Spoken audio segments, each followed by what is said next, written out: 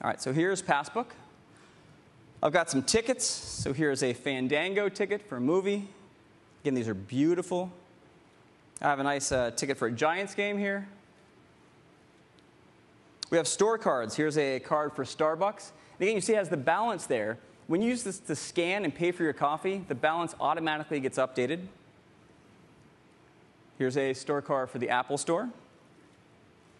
We have boarding passes. Here's one for Amtrak.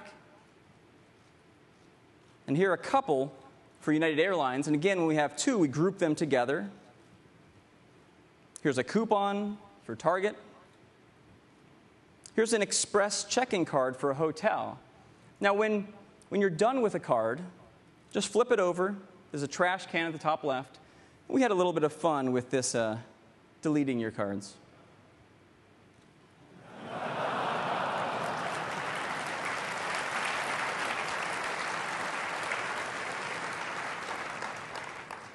Now, as I said, this is all integrated in with the phone and with the lock screen. So if I have my phone locked and I go to my favorite Starbucks, up comes my Starbucks card. Slide across it, brings on my card, scan, pay for my coffee, and I'm out. It's that easy. And all these cards are actually live.